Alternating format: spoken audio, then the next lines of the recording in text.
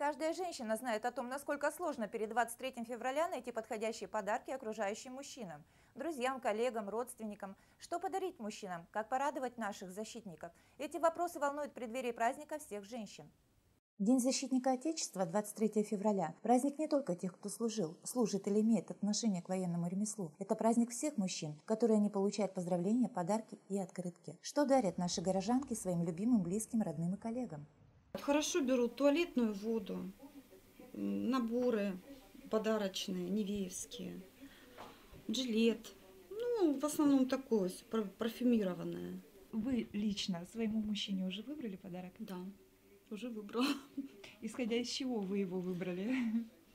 Ну, то, что предпочитает, то и выбрала. А если не секрет? Набор. Парфюм.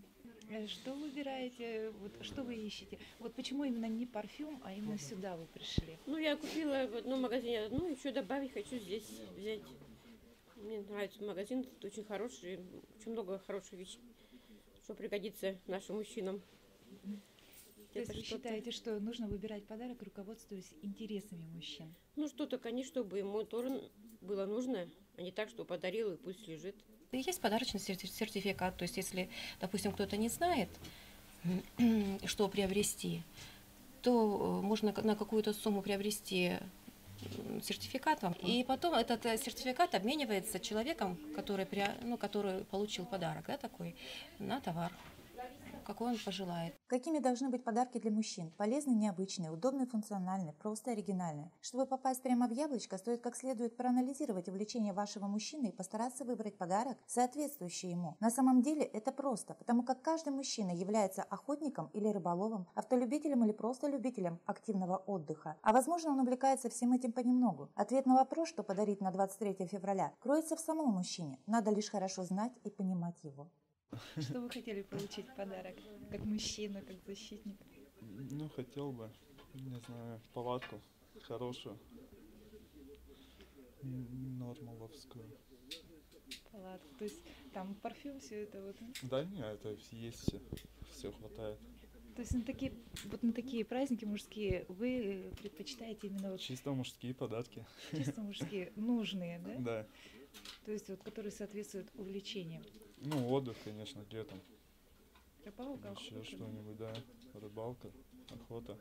Но охотой не занимаюсь. Это требует вложений. Ну, подскажите нам, женщинам, какие нам вам дарить подарки? Мы просто теряемся.